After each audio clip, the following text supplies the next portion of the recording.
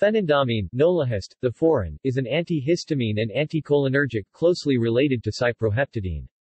It was developed by Hoffmann La Roche in the late 1940s.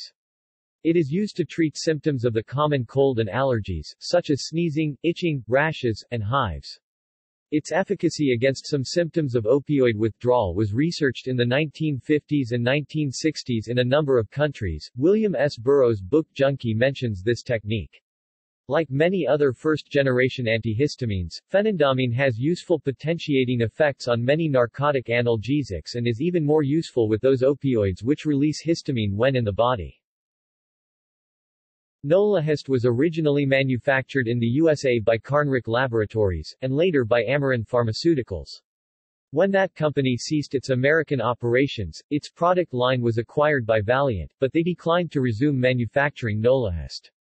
The last produced lot bore an expiration date of 10-2005, and the product is no longer available.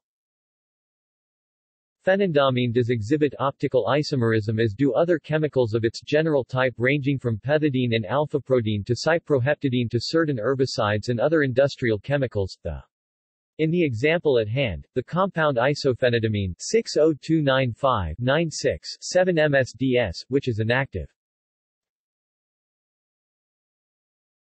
See also. Cyproheptadine References